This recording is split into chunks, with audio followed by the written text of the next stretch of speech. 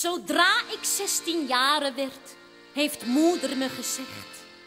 Mijn kind vertrouw het manvolk niet, die kerels zijn zo slecht.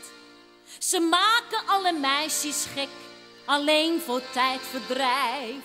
Ze hebben allemaal hetzelfde smoesie aan der lijf. En hoe meer ik het bekijk,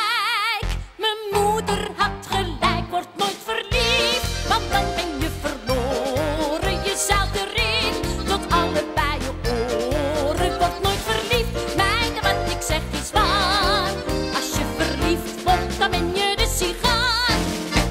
Mijn moeder zei, de man houdt eerst een meisje aan de praat. Je krijgt een advocaatje en een stukje chocolaat. Je zegt op alles ja.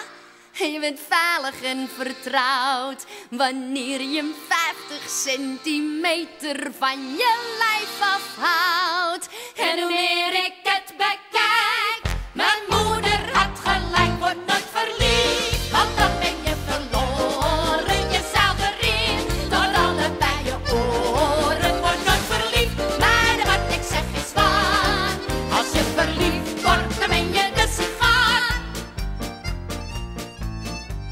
Ik heb mijn moeder eens gezegd, mijn vrijer houdt zo aan.